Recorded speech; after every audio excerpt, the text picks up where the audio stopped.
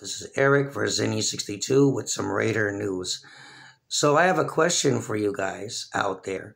Who do you think is a QB right now heading into the week three in the NFL that is leading the league in passing yards?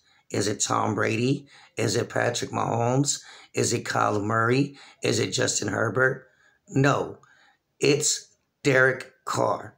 Derek Carr is leading everybody right now with 817 passing yards in these last two weeks.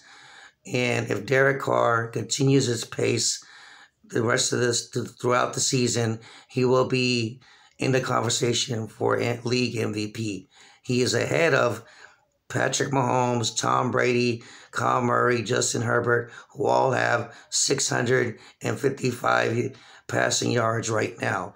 So Derek Carr is ahead of everybody right now, and I think it's time for even the haters who hate Derek Carr to recognize this guy is an elite quarterback.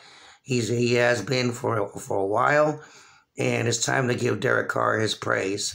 All right, there's been enough hate on this guy, and um, to me, it's not even.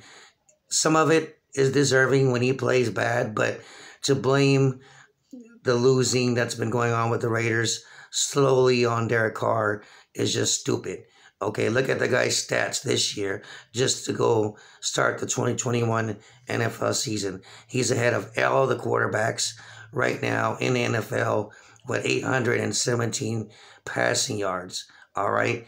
He's ahead of Tom Brady. He's ahead of Patrick Mahomes. He's ahead of Kyle Murray, Justin Herbert, uh, Russell Wilson, all those guys are at 655 right now. Derek Carr is 817. So hopefully Derek Carr can keep this up. And it's time that NFL and Raider fans as well and the haters give Derek Carr his praise. All right. Like and subscribe to Zennie62.